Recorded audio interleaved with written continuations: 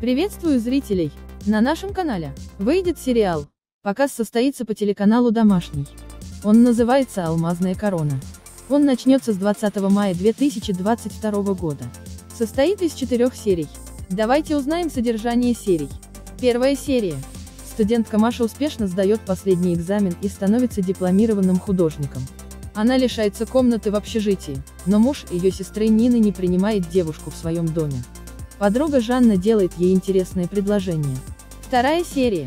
Демин требует с Жанны долг, и Маша решает с ним поговорить. Она пишет портрет его супруги, чтобы умаслить мужчину. Бизнесмен Михаил Сергеев предлагает ей за деньги присмотреть за своей квартирой. Третья серия. Маша замечает в квартире Сергеева камеры наблюдения.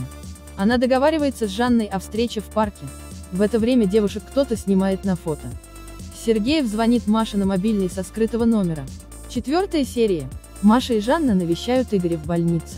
Парень клянется, что он не имеет отношения к слежке, и уговаривает Машу порвать сделку с Сергеевым.